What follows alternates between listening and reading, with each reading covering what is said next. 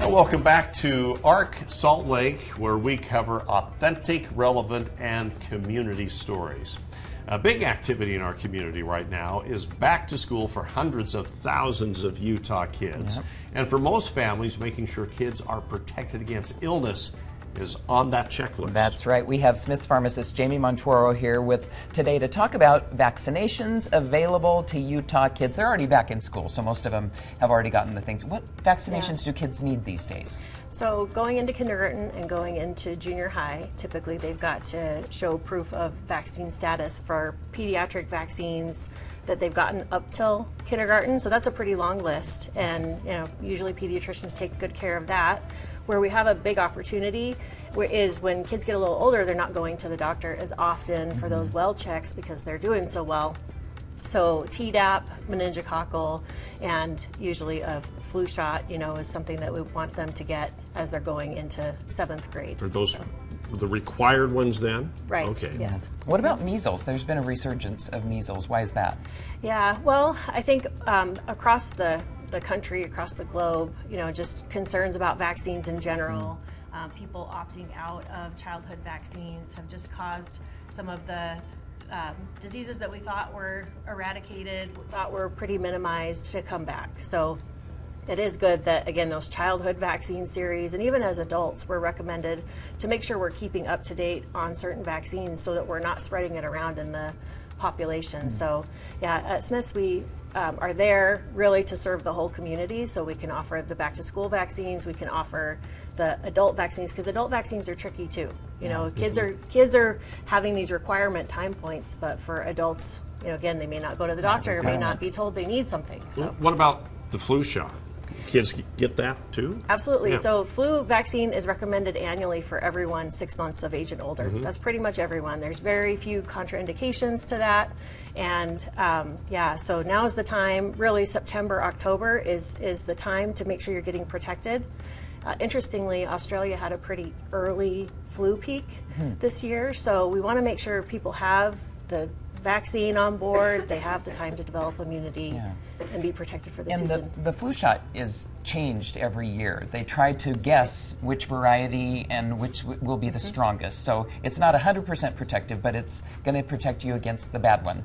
Yeah, right? we're pretty good at guessing, um, and shouldn't say they're smart people doing this work, but yeah, making sure that when we put the vaccine together, that it is going to target the circulating uh, variants. Right. Um, very similar to COVID now. Okay. So we have are kind of on the same page with both flu and COVID, where there's an annual update to the vaccine Mm-hmm. based on making sure that people are protected uh, against those variants that are circulating right now. And even now we're seeing a lot of COVID cases. Yeah. What's Yes, the status of the COVID vaccine?